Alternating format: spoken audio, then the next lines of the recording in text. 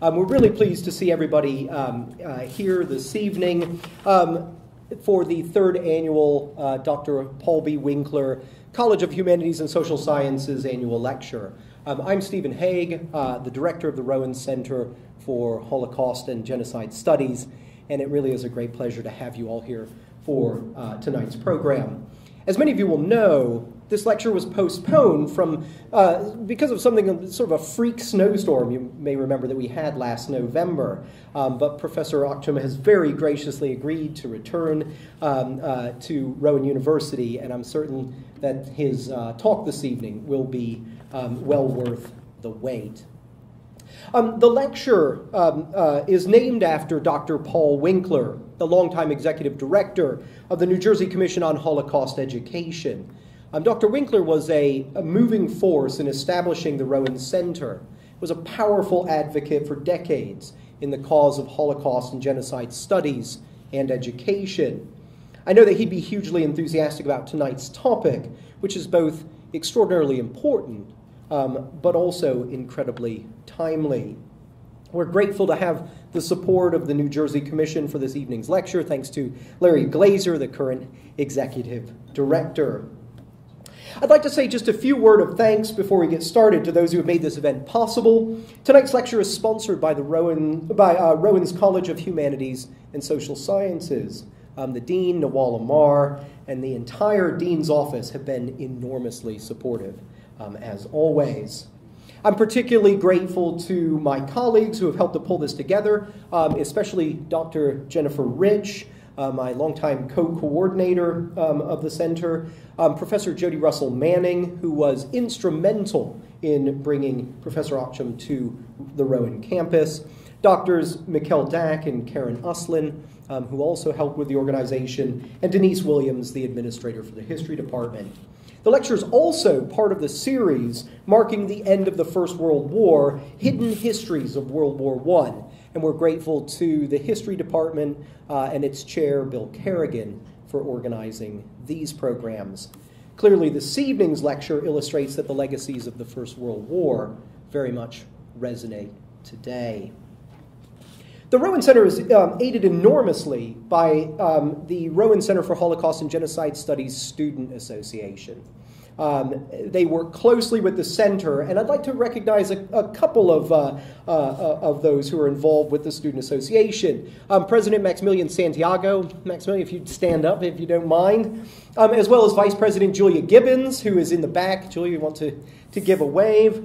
Um, I'd also like to draw your attention, if you haven't had a chance to look at it, um, to the latest issue of Rowan Magazine. There are several, a number of these kind of spread around the um, uh, uh, around the room. Um, this is hot off the press. We literally just received these um, uh, within the last day or so, and the cover story focuses on the center. Um, and, uh, and the cover feature actually highlights another one of our history and education majors and our RCHS intern, Natalie Morris. Nat, are you, uh, where are you, Nat? Oh, stand up back there. All right, so here's Natalie. You are now famous as the uh, face of uh, the Rowan Center for Holocaust and Genocide Studies.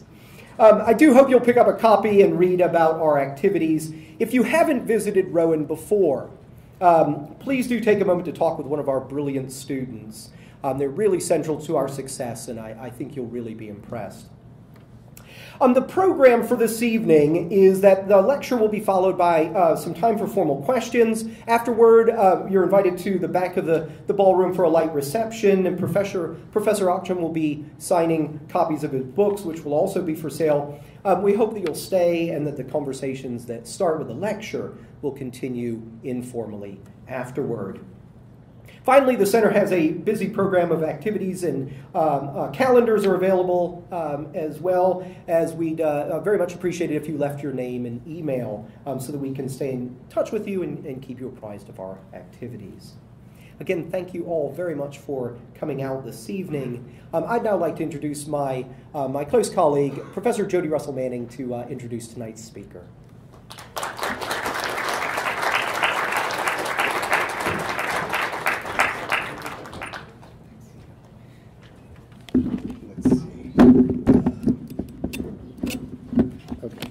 maybe I will just hold on to it then. So, okay. Uh, Thank you uh, again, Stephen. Uh, my name is Jody Russell Manning. I'm the program director here for the Center for Holocaust and Genocide Studies. Um, historian Taner Akçam uh, holds the Kaloosdian Mugar uh, Chair uh, for Armenian Studies, Genocide Studies at Clark University. Akçam grew up in Turkey, where he was imprisoned for editing a political publication and was subsequently uh, adopted as a prisoner of conscience by Amnesty International in 1976. One of my favorite quotes from his activism days was that he viewed being arrested and imprisoned almost akin to taking a holiday. Um, Akçam later received political asylum in Germany, and in 1988, Akçam started working as a research scientist in sociology at the Hamburg Institute of Social Research. In 1996, he received his doctorate, doctorate from the University of Hanover with a dissertation on the Turkish national movement and the Armenian genocide against the background of military tribunals in Istanbul between 1919 and 1922. He is widely recognized as one of the first Turkish scholars to write extensively on the Ottoman Turkish genocide of the Armenians in the earliest 20th century. He is the author of more than 10 scholarly works, as well as numerous articles in Turkish, German, and English on the Armenian genocide and Turkish nationalism. His most known works are, um, his most known book is A Shameful Act, the Armenian Genocide and the Question of Turkish Responsibility, which received the 2007 Minnesota Book Award for General Nonfiction. A side note, most of my Rowan Historical Methods students, who are a lot of you are here tonight, um, have brought their copies for you to sign. So you have a small fan base here, Taner, I have to tell you. Um, another important work, of course, is his work, The Young Turks' Crimes Against Humanity, the Armenian Genocide and Ethnic Cleansing in the Ottoman Empire, um, which was awarded the 2013 Hourani Book Prize of the Middle East Studies Association and selected as one of the Foreign Affairs Best Books on the Middle East for 2012. Akçam's latest book, The Killing Orders, Talat Pasha's Telegrams in the Armenian Genocide, which will be available for purchase and signed uh, following this lecture, is his newest work. With this extremely impressive bio, I must tell you another side about Dr. Akçam. Uh, we met at Clark University many, many moons ago. When I was a graduate student, I was assigned to give him a campus tour. He uh, had previously visited Clark, and so he quickly turned to me and said, Can we please just skip that and go have coffee? I will never forget that because that discussion really elucidated not only his focus on this remarkable scholarship, um, he is known as the Sherlock Holmes of the Armenian genocide, but more important, right? Our coffee and discussion showed that he is a kind, generous, and very witty man. And moreover, it showed how much he cares about his students. He has been an amazing role model to me and one that I try to emulate for my students. Uh, so I'm extremely honored to have him here at Rowan. And so please join me in welcoming Dr. Taner Akçam, my dear friend.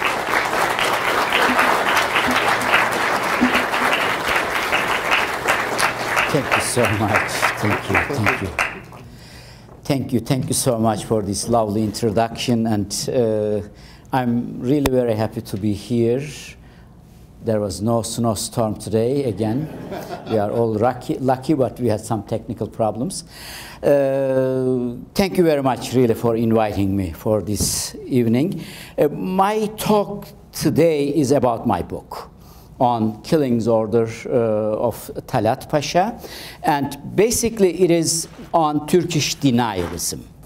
And uh, with confidence, we can say that the Armenian genocide is an established fact and has taken its rightfully important place within the field of genocide studies. Despite this fact, one of the most unique features of Armenian genocide is still long-standing denial by successive Turkish governments. The main Turkish denialist argument was and has been that there was no central decision taken by Ottoman authorities to exterminate Armenians. Everything was a legal operation of resettlement. So, this is a very important point. So, the main characteristic of Turkish denialism is that it has been an inherent component of the genocide since the beginning of the events themselves. So, in other words, the denial of Armenian genocide began not in the wake of the event, but it was intrinsic part of the plan itself. The deportation and killing of Armenians were performed under the guise of a decision to resettle them. The entire process, in fact, organized and carried out in an effort to present this image. I will show you a couple of documents also. They produced documents towards that direction. Everything legally and in the documentary ways covered that it was a normal resettlement process of entire population. We have enough evidence for this. The archives are full. So this means we have to rethink denialism again. Usually, we all think that there is a difference between facts, opinions, and interpretations. These are different things we consider, and we separate them from one another. We would like to believe that the truth, there is one truth, and rests upon established facts over which there is a consensus. As such, they are not the same thing as opinion or interpretation. We would also like to believe that the practice of denialism in regard to mass atrocities is a simple denial of the facts, but this is not true. Denialism has its own truths and has own facts. There is a nebulous territory between truth and denialism. This is the important part. So the theoretical background to explain these, I have to use a model that Michel-Rolph Trouillot, I might pronounce uh, the name wrong, a Chicago anthropologist, he developed a model. He wrote a book. It is the, the title is The Silencing the Past. Very important book. And in his book, in introduction, he developed actually four main steps how we silence the history, how we deny the history. You can understand this way also. The first moment is the fact creation, the making of sources. You make your own sources. And second important moment is the fact assembly, the making of archive. So you put these facts together and you create your own archive. And the third is the telling the story. So you make the narrative based on the facts and your archive. And the fourth is the moment of retrospective significance, the making of history in the final instance. So this is how you create the national history, national storytelling, that everybody agrees. There is one way of American history, Turkish history, and the other histories. And I added a fifth moment to all these, the moment of destroying and proving the falsity of critical documents. This is what Turkish government also did. So number five had two different moments. Moment of destroying the documents, I'll give you a couple of examples, and proving the falsity of critical document. I will show you some example for each of these steps and so that you can understand how Turkish denialism works. And Turkish denialism is not simply denying the facts. Deny, they have their own facts and archive. From the beginning, from the April 24, 1915. What is the April 24, 1915? It is the official beginning of Armenian genocide because on that very day, uh, Ottoman authorities arrested around 200 intellectuals from Istanbul. This is how then they launched the genocidal process. So in order to develop their narrative, they had three major operations, Turkish, Ottoman Turkish governments. The first one, they create and assemble their own facts and archives. I'll give you a couple examples. Second, hiding or destroying the main bulk of documentary evidence that clearly showed the genocidal intent of Ottoman authorities. What are these? These were mainly four important category of documents. Number one is the Teşkilat-ı Mahsusa. This is a special organization. If you know Holocaust, you can compare this with SS, the Nazis, special units established by Ottoman government to exterminate the Armenians. So today in Ottoman archive, we don't have any document related to these paramilitary organizations. They are gone. We don't know where these materials are. Second is the uh, CUP, the party that organized the genocide, Committee of Union and Progress. And this party's central committee files are gone. We don't know where these files are. They might destroy all of them when the war ended, 1918. Third important uh, files, some files from Interior Ministry. We know that because of the point four, military tribunals in Istanbul. There were military tribunals in Istanbul between 1919 1921 because a new government came to power Ottomans lost the war 1918 and the new government in order to get better peace conditions in Paris negotiations they had to try the Union and Progress Party members.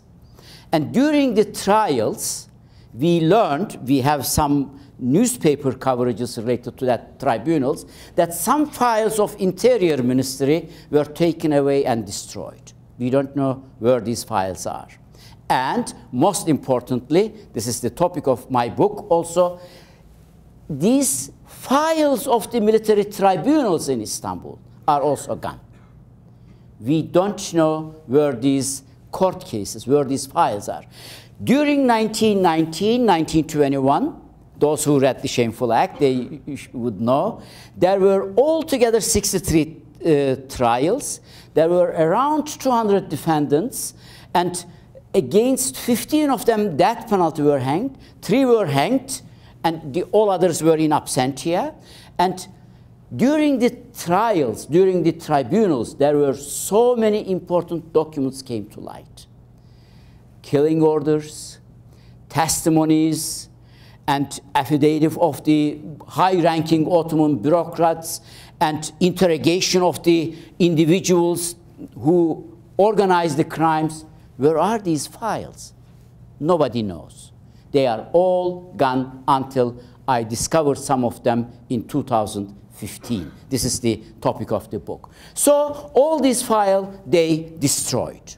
Or they are they hide them somewhere in Ankara, in either military archive or in the Ottoman archives basement. We don't know. We have no idea where these four categories of documents are except the last one, because I will give you some example that I discovered some of them. Or, of course, they couldn't destroy everything. Some documents came to light after the war.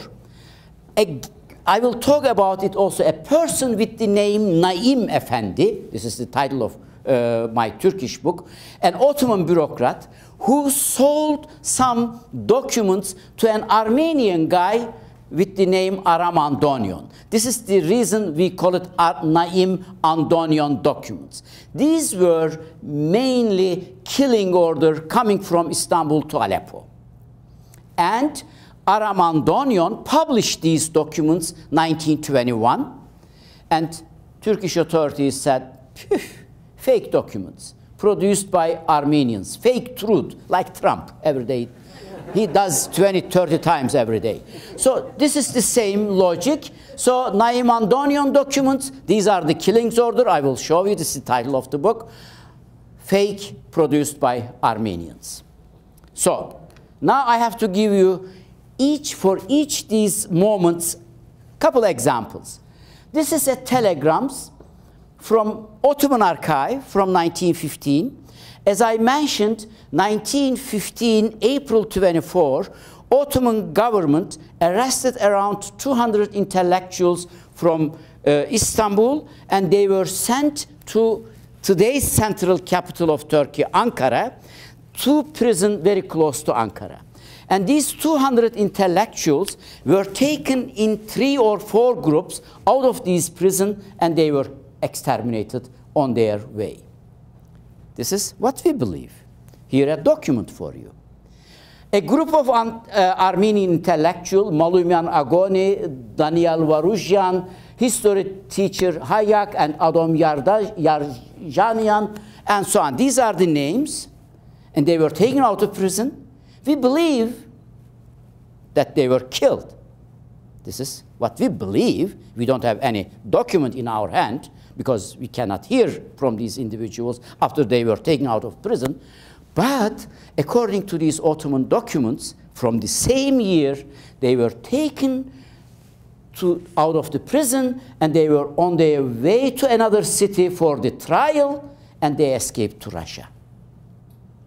This is an official document that shows these individuals escaped Ottoman authorities and they were somewhere in Russia. This is another important case. It's a wonderful case. Krikor Zohrab is a very well-known or was a very well-known Armenian intellectual. He was a lawyer, a man of pen, and a deputy in Ottoman parliament. He was really the man, intellectual, and very close friend of Talat Pasha, the interior minister who organized the entire killing operation.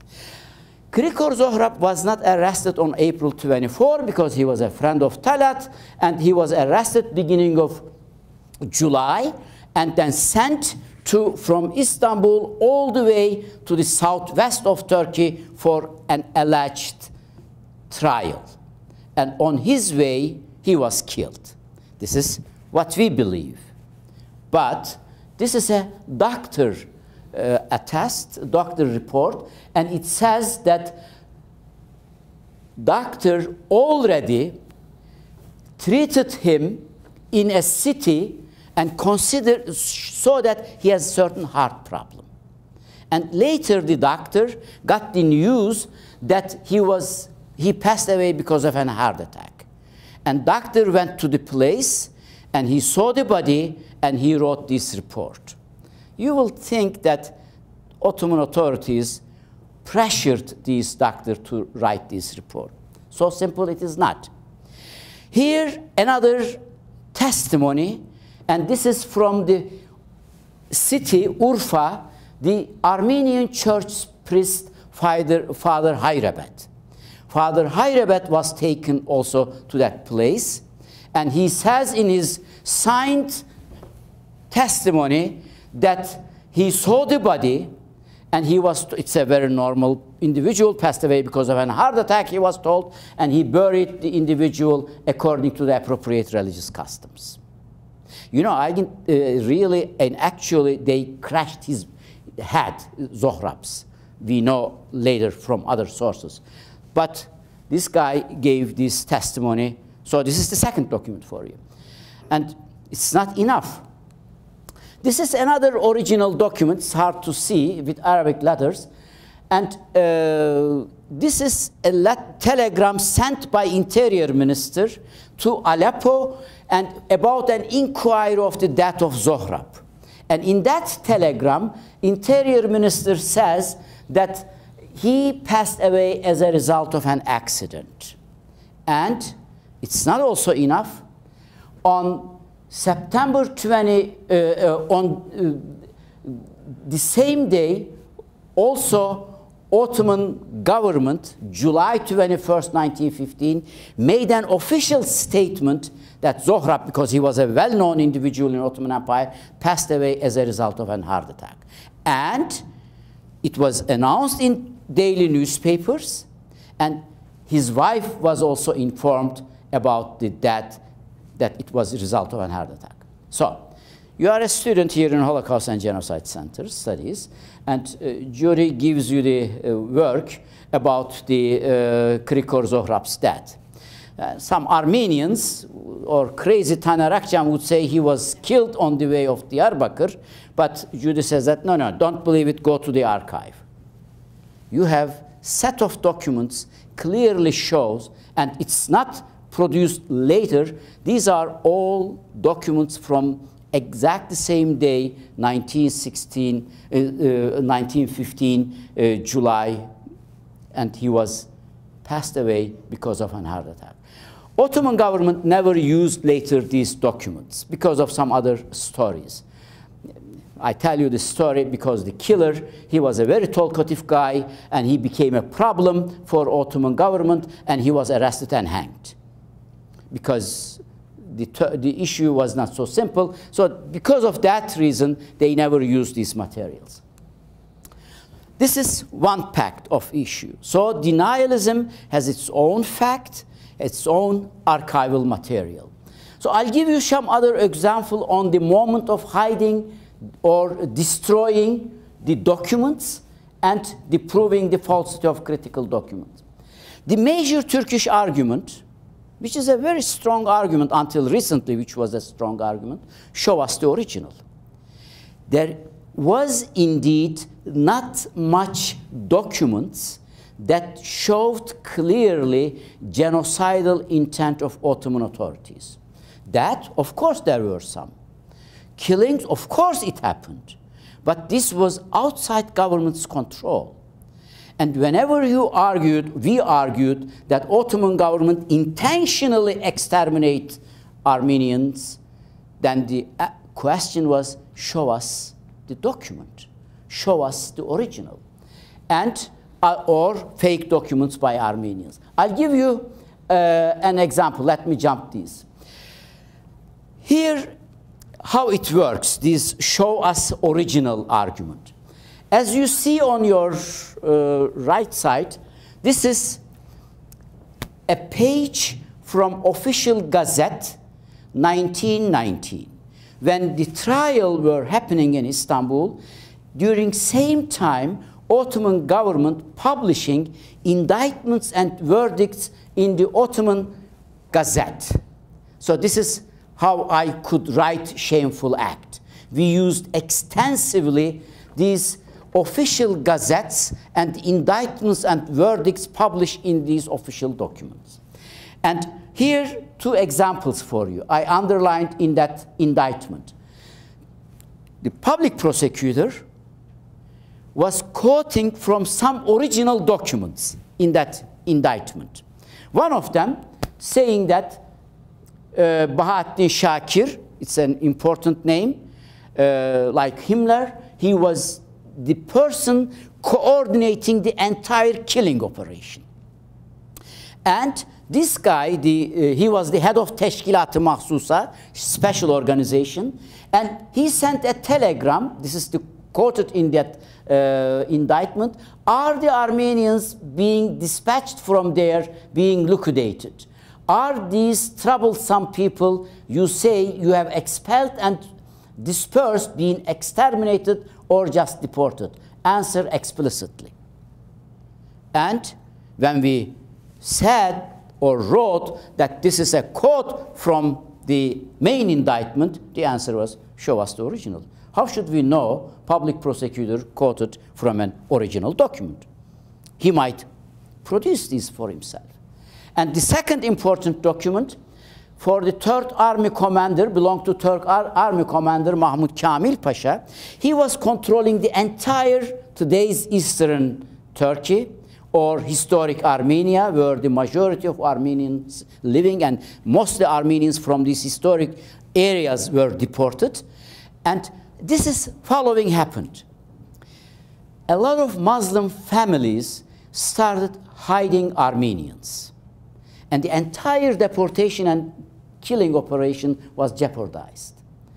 And Third Army then gave an order saying that those who have been hiding and maintaining Armenians in opposition to the government orders be hanged in front of their properties and their properties burned to the ground.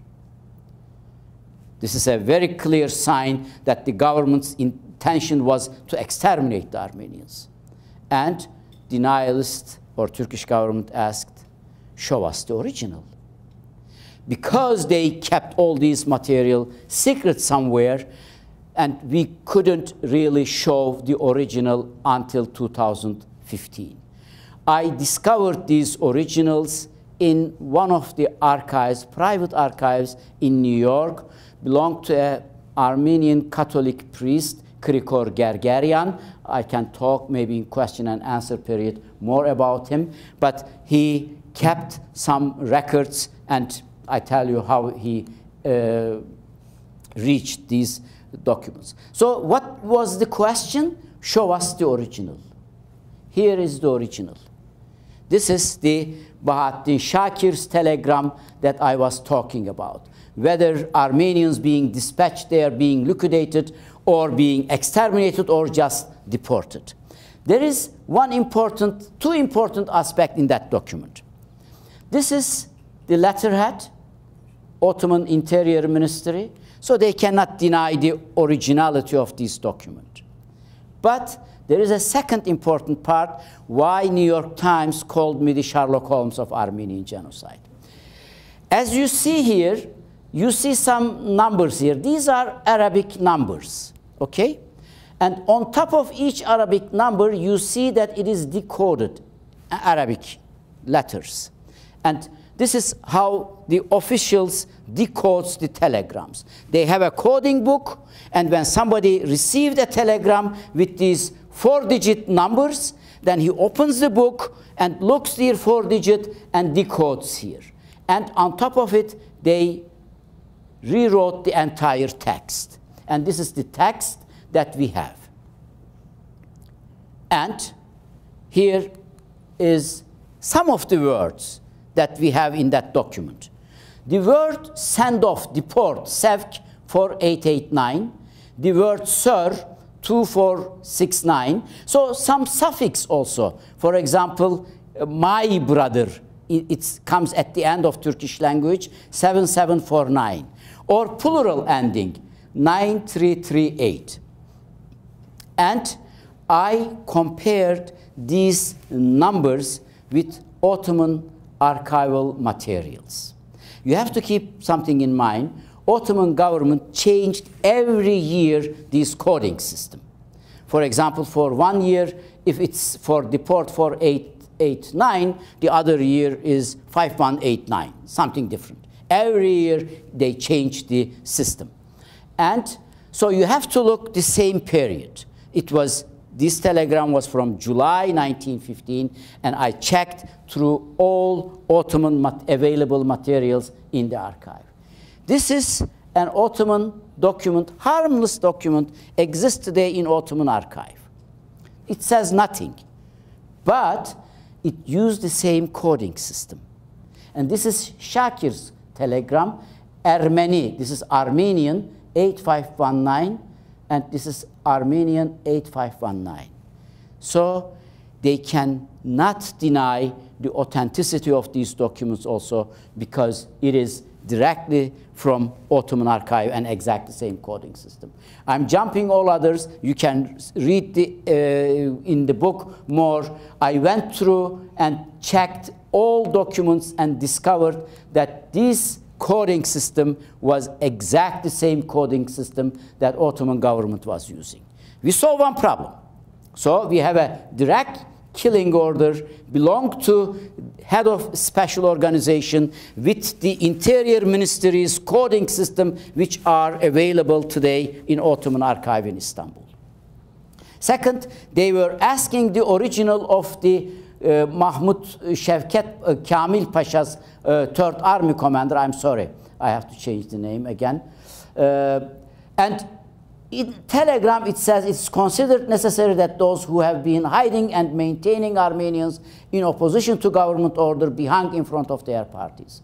And here it is the official uh, letterhead of Ottoman government, and this is the uh, of the Interior Ministry says that this telegram confirms the originality, and we have the original document. We solved one problem. We can solve them some original documents. So what about the false produced materials by Armenians? I told you the story. The story is Aram Andonian. This is the individual that I'm talking about. He was arrested April 24, 1915, and he was taken into this prison, and he was taken out of the prison, and on the way he fell from the car and coincidentally broke his leg, and they brought him to hospital. He escaped, he survived. 1918 November, he met, actually he met earlier, but he met a guy, uh, Naim Effendi, an Ottoman bureaucrat, and he bought 52 original documents from these Ottoman bureaucrats, and he was working in the deportation office. This is the reason why he could have access to these materials. And in 1921, uh, Great Crime, the book was published in Armenian, French, and English languages. And in 1983, Turkish Historical Society published and claimed that the memoir and records that Andonian had published were all fake. It was produced by Armenians. What are these telegrams? These are direct killing orders from interior minister. Seven of them published in that book. Here, this is the document that Andonian published in his book, page 217. As you see, this is three-digit Arabic numbers, and each three-digit is equal for a word, Arabic word, and then the telegram says, Committee of Union and Progress, the party decided to completely annihilate all Armenians living in Turkey. And it continues without paying attention to women, child, and incompetent, no matter how tragic the methods of annihilation might be, without listening to feelings of conscience, their existence must be ended. Original telegram published by Andonian 1921, taken from an Ottoman officials. And this is produced by Armenians. The argument was, I will give you talk about. Or another document, destroy the children of the known individuals gathered by military bases and nourished by command of the Minister of War and inform us. So these kind of documents, there were altogether 52 telegrams published in that memoir or in that book, 1921. And these are the documents that he published, two characters. One is two-digit numbers, as you see. One is the lined paper, and the other is three-digit numbers. There is a difference between two. As you see, this is an official telegram because this is a telegram received. And this was a telegram prepared to be sent. This is the reason that there is no decoding on top of these two-digit numbers. Only on the receiver end, they, when they receive the telegram, they decode and develop this into a normal telegram. This is coming from anywhere, and this becomes the order and so on. This three digit that I showed you also has a written form in Arabic, so decoded form. This is, there were no emails at that time. This is how they worked, of course. Three, four step. 1983, Turkish Historical Society published a book, and they made three important claims. Ottoman bureaucrats by the name Naim Effendi never existed, they said. We went through the entire Ottoman archive, Interior Ministry's personal files. We couldn't find any man with the name Naim Effendi. Second, you can't have a memoir for someone who didn't exist. And third, all these telegrams that you show here, these two digit, three digit, these are all fake because Ottoman government never used two digit and three digit coding system. Very complicated. They argued Ottoman government used only four digit and five digit telegrams. In 1980s, archives were closed, nobody had access to the materials, and nobody could really dispute the strength of these arguments. And these telegrams are claimed to be forgeries actually on 12 grounds. The signatures were false, the date were wrong, and as I said, two-digit, three-digit were never used. Ottoman government used four and five-digit numbers. So this is my Sherlock Holmes job. I discovered that there is a person with the name of Naim Effendi. I will show you the example. And the second, I found the memoir. Here is the interesting story for you. I'm not a religious guy, okay? I, have, I mean, I'm a humanist and I don't believe too much in religion. But when I entered in the archive of this private individual, Guerguerian, it was really a, in the basement, dark, and shelves full of files without anything, no catalog, nothing on it. And I coincidentally took one of these files, opened, and I saw a file for paper, white paper, folded in two. On one side, Turkish in modern Turkish, and on the other side, translation of this Turkish text into English. And on top of it, it says Naim Effendi's memoir, page 29.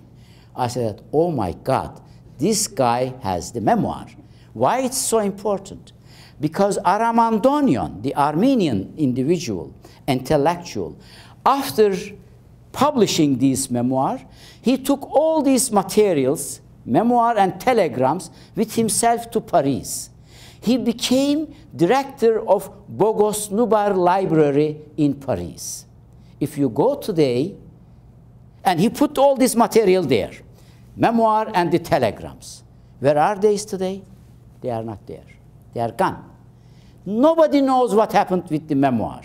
Nobody knows what happened with telegrams.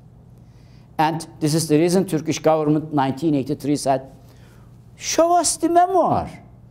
There is no Naim Bey, there is no memoir. We couldn't show until 2015, until my book. And we really were silenced because of all other arguments also. And then I also showed actually the events that Naim Effendi was talking in memoir was also accurate. Here is the story.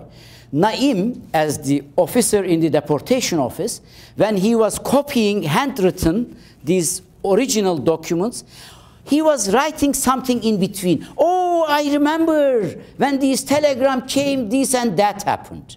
And I took, I made a list of these uh, telling what he was writing there, and I worked in the Ottoman archive, and I showed that which corroborates these events and individuals mentioned in the memoir with the materials in the Ottoman archive.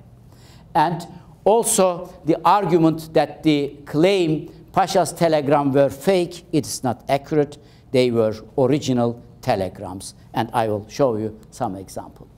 About Naim, the honor is not mine to discover the existence of Naim Effendi. The honor goes to Turkish Military Archive. In 2005 and 7, they published several volumes, eight volumes on, they call it uh, Armenian activities in the archival documents, 1914-18. They published eight volumes, each one in four languages. Original Ottoman language, transliteration in Latin, translation in Turkish, because it's two different language actually, and translation in English. And nobody reads 800 pages, and they thought nobody would read. Even they, I think they haven't, they didn't read before they published this material. because these materials, the volume 7, related to an event here. This is a concentration camp, Meskene. Meskene was a concentration camp and 1916 summer, beginning of January, Ottoman government started organizing second phase of killing operation. They first used the entire Syria as a garbage can. They poured the Armenians to that area. And the Armenians arrived the area where the number were more than they expected. Approximately 800,000 Armenians arrived Syria. And they were settled first here around Aleppo in different concentration camps and also Meskene. 1916, with the January, they started emptying the entire area. It's not on my map, but you have heard because of the civil war in Syria, Deir Zor area. This is the uh, desert, and Armenians were deported from here and exterminated there. 1916 spring months, but those deportees arrived these concentration camp, bribed the Ottoman bureaucrats. And they escaped back to Aleppo.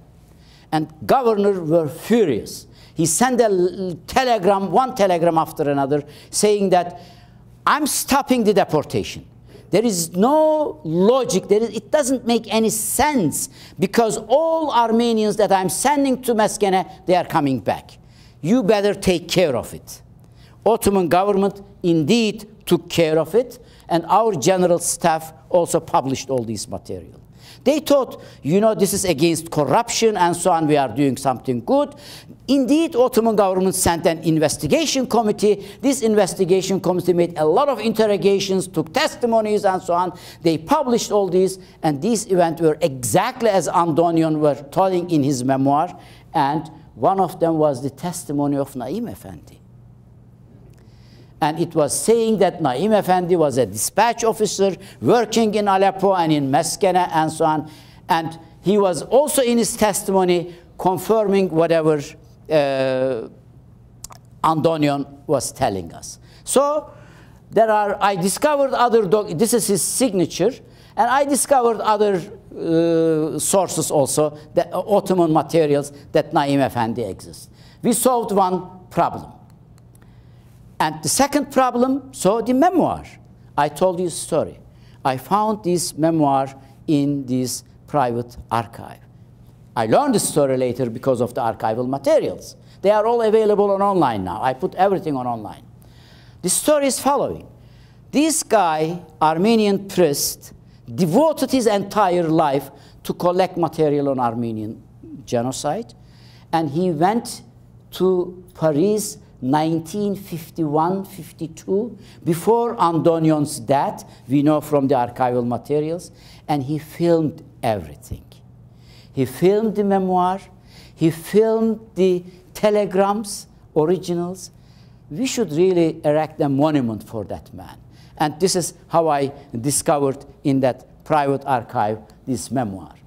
There is a small problem. Some of the pages here that I found was not published by Andonian.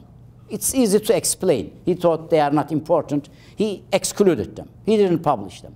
But there are some pages that Andonian published in the book 1921. I don't have it in this memoir. Why? We learned the story also from a private letter. Again, I found in the archive, 1938, Andonian wrote to a survivor in Geneva saying that, you know, some pages I sent to Istanbul because of a court case. They asked me to send some materials and incriminating materials, and there were some pages of Andonian's memoir. I sent them to Istanbul. So the missing pages is somewhere in, Istanbul, in Ankara or Istanbul in the basements. So, but here is the, another problem. We found the man, we found the memoir, but we should ask as a historian, because we know Naim was someone, he enjoyed gambling and was accustomed to taking bribes, and he was an alcoholic. So, simple question is, Naim Effendi knew that the Armenians were in search of documentation of massacre. Couldn't he have created and made up the events in his memoir and the documents also in order to make some money? Makes sense. So this is where the historian's job starts. I worked almost one year in Ottoman archive in Istanbul and Ankara and discovered amazing things. Just a couple examples and we can come to the question and answer period.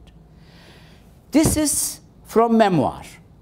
I told you, in between telegrams, he was saying something what he could remember. He was telling, oh, I remember, he writes. Exactly, I remember. Interior minister sent us a telegram. And he told us the Armenians from Marash, from a province, Dishchekenyan, Hazarabedyan, Amiralyan, Toros Çağlasyan, they should not be deported. He said that we have the information, they are in Aleppo, don't send them to Deir Zor to be killed. Keep them in Aleppo because they were wealthy Armenians and relative of some deputies and so on and so forth. And um, uh, Naim Efendi says, our vicious governor, he didn't follow the order, he sent this individual to death.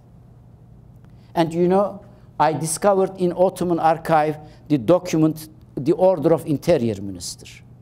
Naim didn't publish anything about these names. And this is an Ottoman archival material. Today you can find in Ottoman archive and you have the same name, Dishchekenyan, Amiralyan, Hazarabedyan, Çağlasyan. Exactly it was saying keep them in Aleppo. Here is the interesting story for you. These pages was not published by Andonian in his book in 1921. He thought, it's not important. Why should I publish these in 1921? Maybe this was the reason that Ottoman Turkish authorities or Turkish government never thought they should destroy this material from the archive. This is one example. And in archive, I also found another documents that Naim was talking and giving names without showing any original documents. And I found all in Ottoman archive also. And there are, I developed a list around 10 events one of them, for example, taking orphaned Armenian children out of Aleppo and moving them to Sivas and Istanbul, to other provinces. And Naim says that I was in charge actually to bring these uh, Armenian orphans from Aleppo all the way to Istanbul, but there was a money problem and so on and so forth. You know what happened? I work in the archive. I reconstruct the entire story as Naim was talking in his memoir. And I did it with 10 different points. This is the actually topic of the book. And I showed that this guy was telling us the truth. So let's give the last example about the falsity of telegrams. As you see here, this is a lined paper. This is one of the original documents that Andonian published in his book, 1921. 1983, Turkish Historical Society, Turkish government, in his book claimed one of the documents has been written on a double-lined paper which lacks any kind of official insignia. It resembles the kind of paper used in calligraphy classes in French schools, and it would be inconceivable that this kind of paper would have been the source for official communication Ottoman offices. Therefore, the document is fake. We all accepted the argument because we couldn't prove otherwise. But now in Ottoman archive, there are so many materials. You know what the truth is? Truth is just the opposite.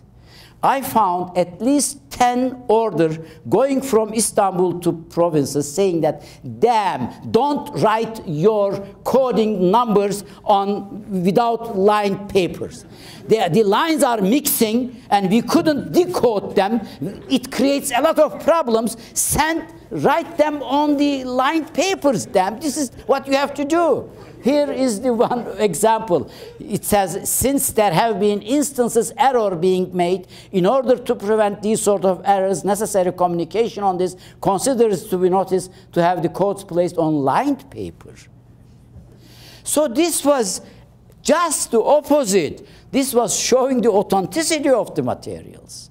So we saw one problem with them. This was one of their central arguments.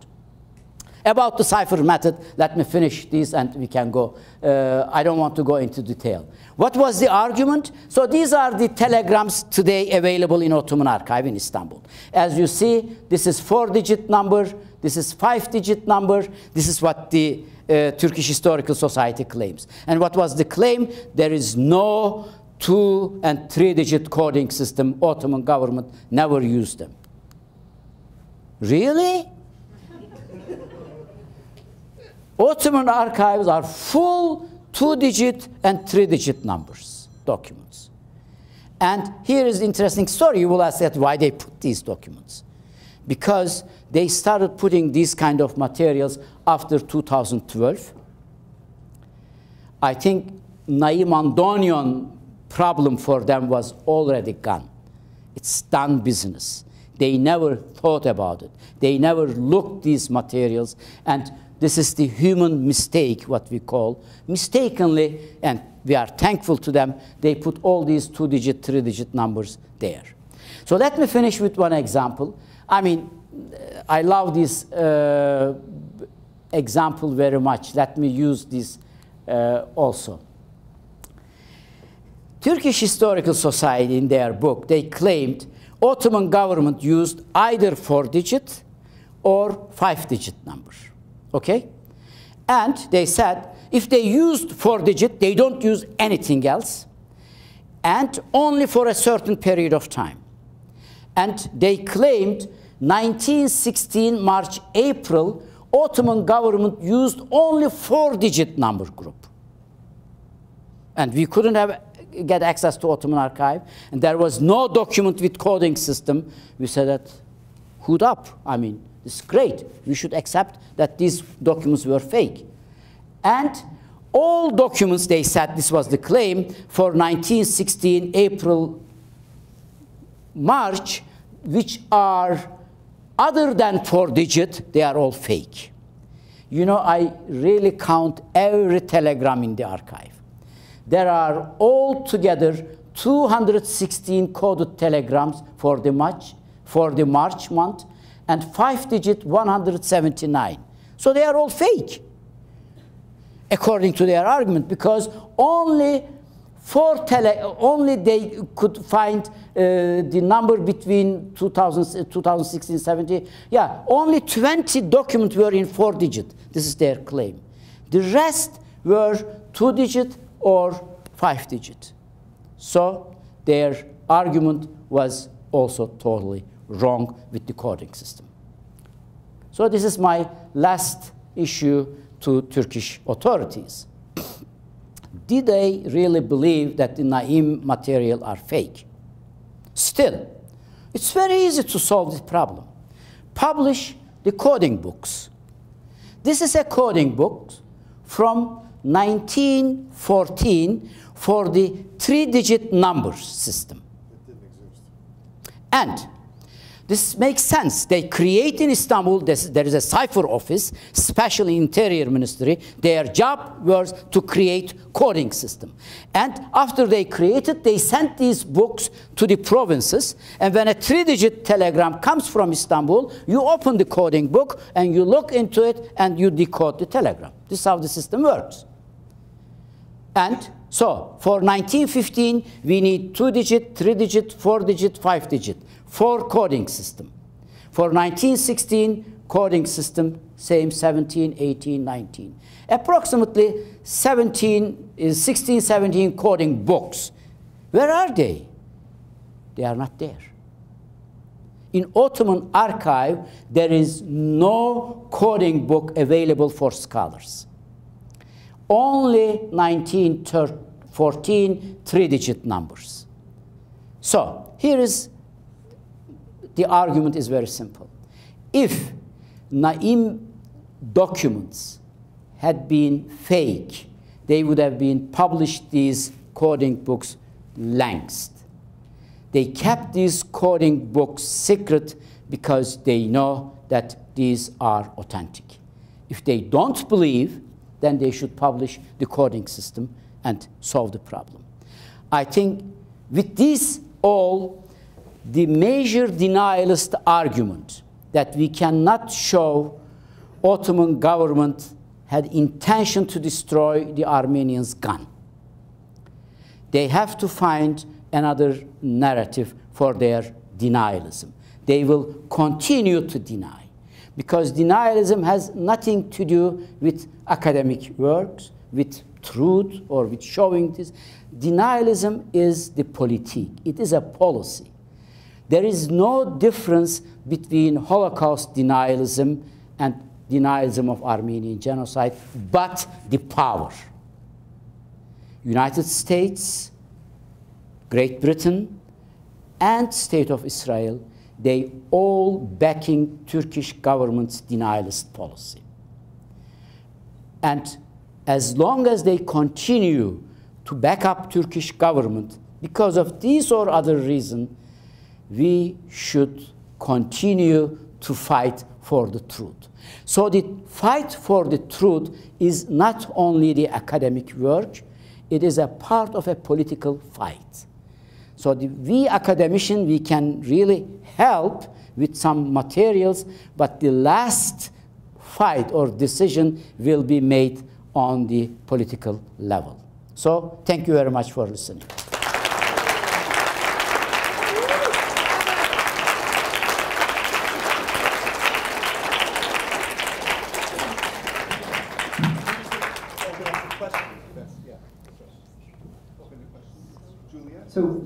Yeah, um, just in terms of questions, if you have a question, please do raise your hand. Do wait for a microphone to come so that everyone can hear the question, please. Thank you very much for that uh, fantastic lecture. My name is Jim Heinzen. I'm in the history department. I have two questions really. One is about your work at the Turkish archives. Why do they let you work in the Turkish archives? um, so I think that's a self-explanatory question. The second is about your own intellectual development. How did you, as a Turkish person, become interested in pursuing this very controversial topic that is, um, you know, that is that, that, that sort of diminishes the prestige of Turkey itself? Or just the opposite.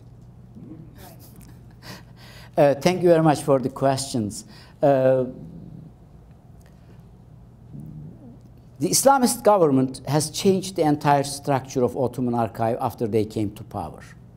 They removed the old guard and they put real historians there. At the beginning, as you remember, uh, the Islamist government were reformist. They had a claim to open Turkey towards European Union, and this was the period that I started working in the Ottoman archive. They welcomed me and they knew who I am and on which topic I was working, and we had a always nice conversation with each other, and to, it still continues. Ottoman Archive today, I have to repeat, one of the best archives in the world. If you worked in American or British or German archives, mainly in the Foreign Office materials, if you ask any documents or any topic, they will bring you files with 800, 900 pages, and you have to really go through. It's, it's uh, hard work. I know, I worked in all these archives. In Ottoman archive, they catalog the materials on individual document basis. You read the document summary in Turkish language, and they are mostly for the period that I'm working digitized and available on the, their computers. And even today, they are trying to develop, you can even have an access from here and pay for this material and get this material. This is their claim. Of course, they don't put everything. Every national archive keeps something secret. Americans maybe 5%, British maybe 7%, but the Turks 50%. So this is, but at the end, the available materials are enough to show the genocidal intent of the Ottoman authorities. And I think uh, at the beginning, it was a problem, maybe. I know a lot of scholars early 2000 or 1980s, 1990s, they were interrogated, they were taken special rooms, they were not giving the documents, and so on. And every day you could get only 20 documents, not more. Today, you can download as much documents as you want. And if there is no digitized version of any document, they digitize it and make it available within 24 hours. It's an excellent system, and it's really great pleasure to work in these archives. So I urge really any scholar, historian who want to work on Middle East to use these archive extensively. Why they allow me? I think they cannot ban at this very moment. I'm I, we don't like to talk about ourselves in the Middle East much, but I'm a very respected scholar now. And they don't want to risk to close these archives to me. I'm not going because of the political reason now in Turkey. This is another topic. But the archive is open. It's a walking archive. You don't, in all, all, days you had to ask the embassy here, get special permission. There is no need. Like the British Archive, if you go to British Archive, they take a picture of you and they give you an ID and you start working. This is exactly the same system in Istanbul and Ankara. You can work the same way. Why I chose the topic Armenian genocide? I have two answers. One is my father, the other is coincidence. My father is an indirect way. He was a teacher and grown up in a village in today's Russian border Caucasus and he was a kid of a very poor family. And he taught us, he really fought for his own life. Can you imagine in order to get education, to go to school. He walked when he was nine years old, two days and two nights, all alone, because he heard that there is a border school for the kids, for the peasants' kids. And he went there, he became teacher, and he fought, and he graduated from the university. He became one of the important intellectuals in Turkey. And he taught me and my other uh, brother and sisters one thing. Just stand up. Never be silenced. If you want to be justice be done, you have to talk against injustices. This is how I grow up. This is one part that I took from my father. This is very important for me. I came to Hamburg. Uh, I didn't know that there are Armenians living in Turkey even. I mean, over these decades, the education, Turkish education, mm, it was indoctrinated in a way that we never thought that there are Armenians living in. I, was, I didn't know that. And Armenian genocide, our overall knowledge was, yeah, something bad happened, but it's a past history. Turks killed Armenian, Armenian kills Turk. It's better to cover up these issues. So it was for me also a psychological process to overcome my own difficulties. But I think the desire to learn the truth and to fight for justice was so dear to me. This is where I ended up really uh, choosing that topic. And uh, this is where I am now.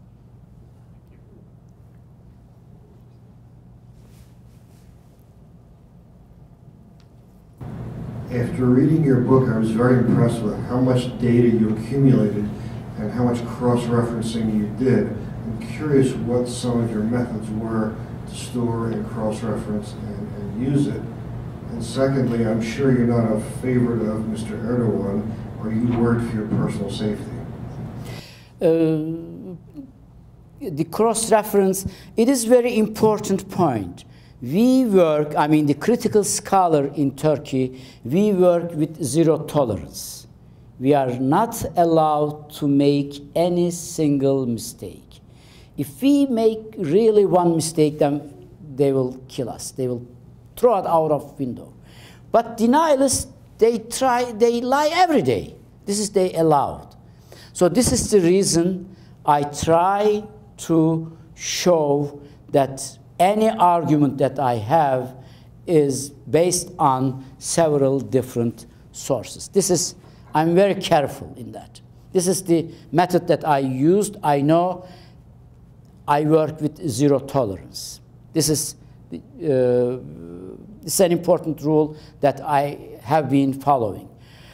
Regarding Erdogan, until 2016, I was going every summer to Turkey. Uh, now, after 2016, you remember 2016 summer, there was an, a coup attempt with, which failed. And after that, Turkey became one of the dictatorial regimes in the world, like Russia or other places. And it is not safe for me legally to travel to Turkey. This is, I'm not going now until again with a, uh, we call it winter back, and we hope that spring will come sometime that we can go back to Turkey again.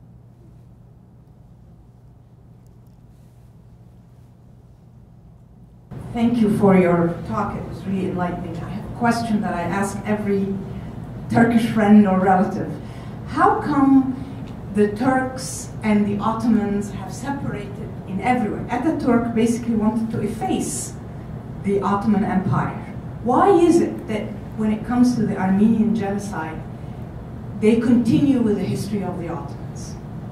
What is it that makes the Armenian genocide something that they want to deny when they could have just completely said it's the Ottomans and not modern Turkey?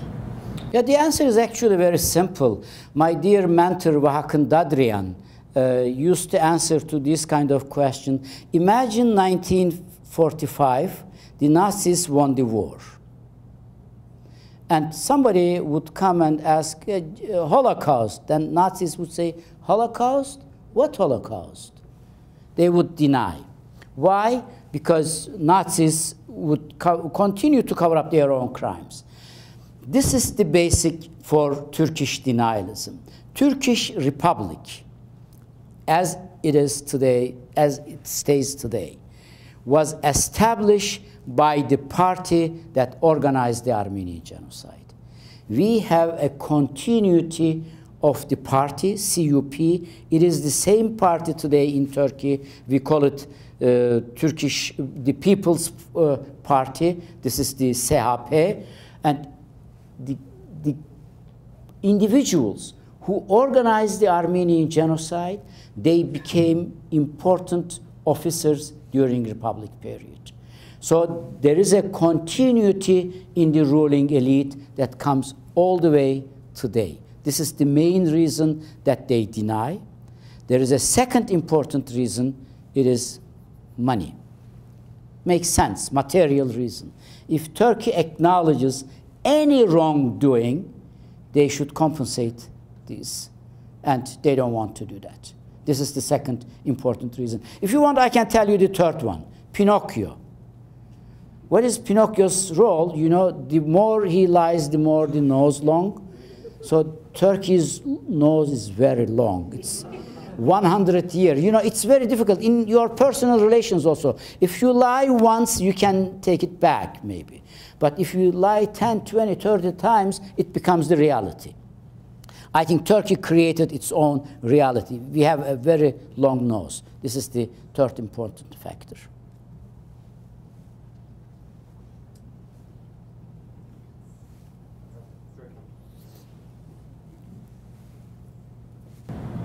Hi, thank you so much. This may be a little unfair because I know that you try to work very carefully from the documents, and the documents don't usually uh, sort of muse about their motives. They just sort of, you know, say do this or do that. But have you been able, um, through your study of the archive and just from your uh, knowledge of this in general, there's a lot of debate about why the motivations uh, behind the massacres and the genocide. Have you been able to discern, uh, you know, is it mainly nationalism, mainly you know, fight over territory, all the different explanations. Which, which do you find most compelling from your study of this? It's a great question, actually. Uh, and there is no one single reason. In all cases, we know genocide is a very complicated social event, and it's a combination of different factors and reasons. Oh, if you ask me, I would give the answer in the following way. Number one, the religious difference. Muslim versus Christian were very important, but this was only, it provided the cultural background. It was like the anti Semitism in Europe. Anti Semitism is an important background, a cultural atmosphere within which genocide can occur, but it cannot explain the genocide per se. Because, as all you know, the Holocaust students in France, anti-Semitism were stronger than in Germany. But the genocide, uh, mass atrocities happened in uh, Germany, basically. So the Muslim-Christian conflict was the cultural background within which the uh, massacres or the genocide was organized. The main reason for the ruling elite was the political. This is what we call in our day, in the daily politic, security politic. Ottoman government thought that they would lose the entire historic Armenia to Armenians as an independent state. If you know the Middle East or Ottoman history a little bit, you know that it was the third biggest empire in the world history, covered the North Africa, all the way to Wien, Europe, Caucasus, even the Black Sea and the uh, Arabic Peninsula, they were all province, and Egypt, these were all provinces of Ottoman Empire. And they lost one territory after another during 19th century.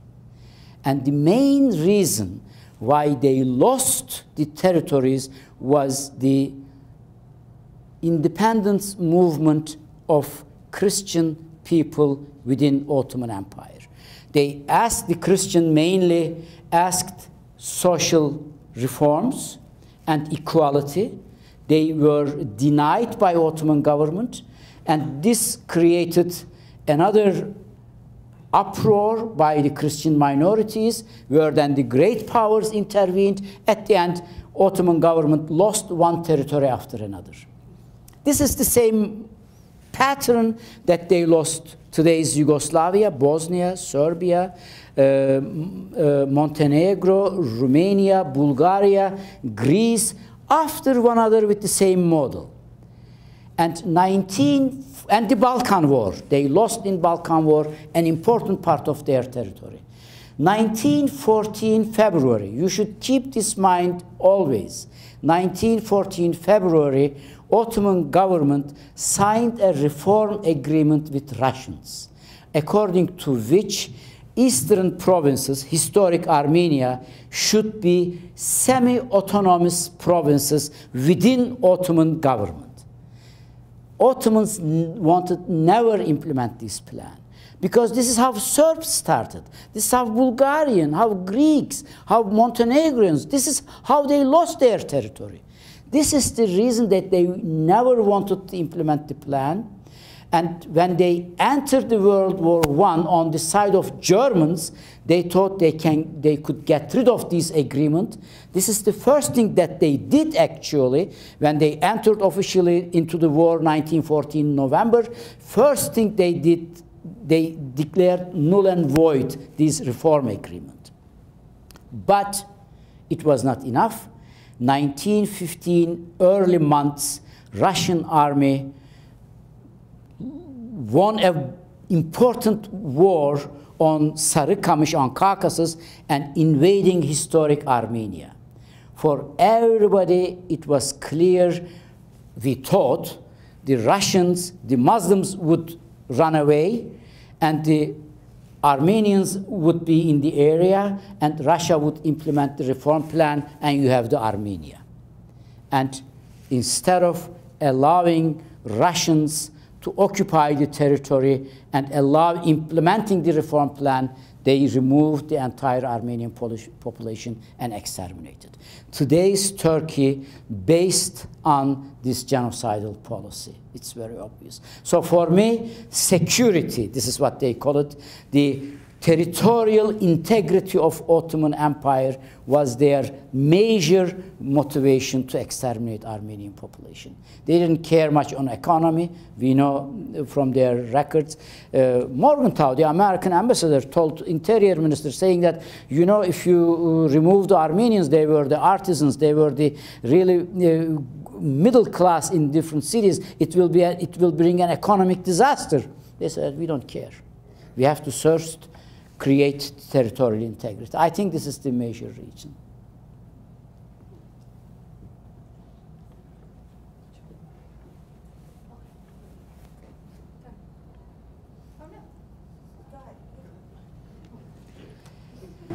I don't have a question. Um, I just want to say as an Armenian who grew up in this country, I'm here with my father who grew up, he's actually, um, his family's from Urfa, which you mentioned.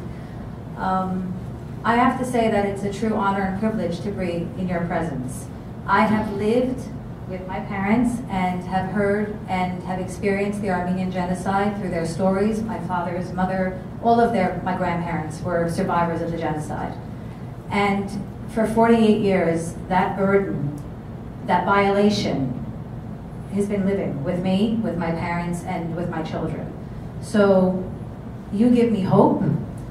You are, in fact, the savior for Armenians, and I know that you don't, you are modest, but you need to know that everything that you do makes a difference in our lives as Armenians, and we are eternally grateful to you. Thank you so much. Thank you.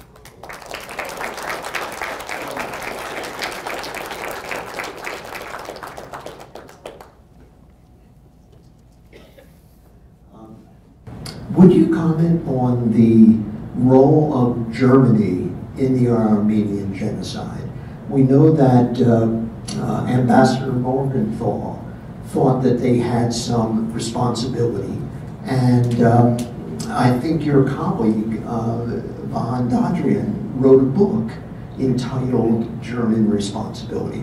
To what degree do you think that they have any responsibility in that genocide?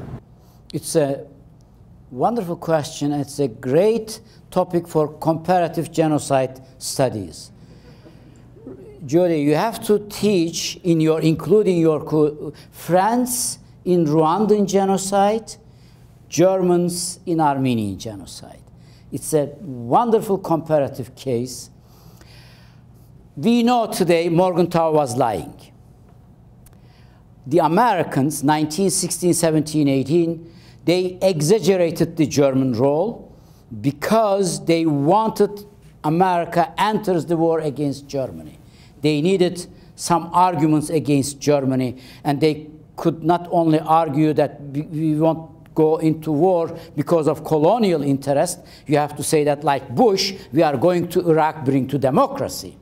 So uh, Ottoman Turks were exterminating Armenians, and it was a good reason for America into the, go into the war, but not then how against Germany or because Germans organized these. So the Germans were the idea giver. They gave the idea, was the Morgenthau's main argument. Today's scholarly uh, state of the art on that topic, we know almost every German documents with one word, German closed their eyes. And this entire genocide made in Turkey. This is a Turkish product. Even Turks deceived the Germans. I don't want to go into detail, but Germany helped Turks to deny the Armenian genocide. One example, 1916, a young uh, ambassador comes to Istanbul, Metternich. He saw, he got all these reports, killing of Armenians and so on. And he sent one report after another to Bethmann Hollweg, to the uh, chancellor in Berlin, saying that we have to do something, we have to do something. The Turks, they killed here Armenians, they are our Christian brothers, and so on. Then he finally uh, wrote a statement and he said that we have to publish this statement in all German newspapers. Bethmann Hollweg wrote on the side of this energetic ambassador's report saying that it is unheard of that a state published against something against their allies.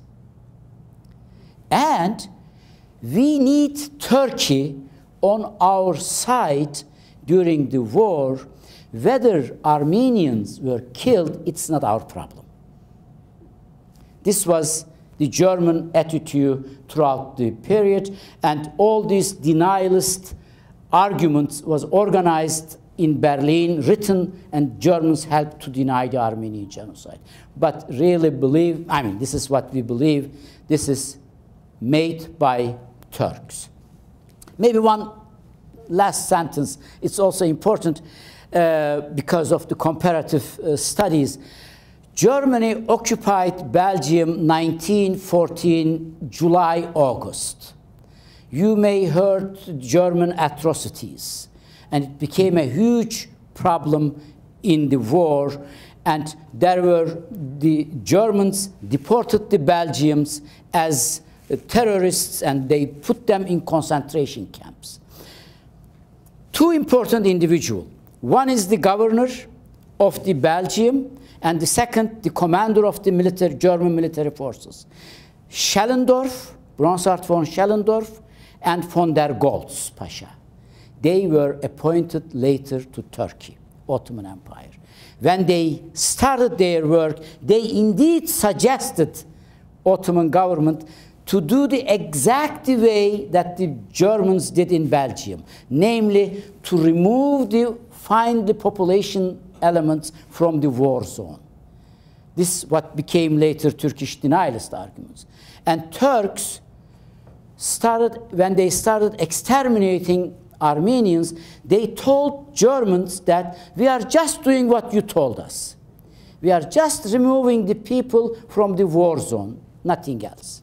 So this is the other important part. So the idea, the idea was given by Germans in the way of removing the population from war zone, and Turks said, let's trick these Germans. We deceive them, we exterminate Armenians. If you read the German materials, 1915 from May all the way mid-July, one and a half months, the German ambassador from Istanbul was writing, the Turks only doing what they promised us. All these massacres and killings, they are all lies.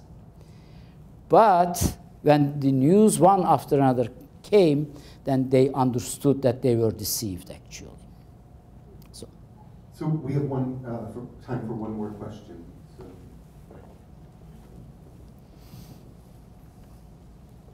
Hi. So um, my question is about like what form is resistance taking now in Turkey? Because obviously what you're doing is like a type of resistance to denial to the Armenian of the Armenian genocide. But are any like younger generations or is anything happening in Turkey to combat this denial that's like still happening? I don't have good news, especially after 2016. Uh, you may have heard the name Hrant Dink, an Armenian journalist in Istanbul, a close friend of mine, who was assassinated 2007 January. It really broke the wall in Turkey, the silence. And uh, there was a growing civil society in Turkey, and publications, and uh, even in Istanbul, every year, commemoration of Armenian genocide, there, it was really a part of Turkey's democratization. And it was also the period where Kurds were, became more loud and they were asking their own democratic and social rights and so on. These are all gone now. And we don't know whether this spring again comes back. Uh, there isn't not much going on in Turkey Uh, the prisons are full with Turkish intellectuals, with critical thinking people, and we really don't know where this process will end. I don't have good news in that regard, but our only hope is that spring will come sometimes. They cannot keep this closed so long. This is the only answer that I have. Okay, thank you very much. So before, oh, go ahead.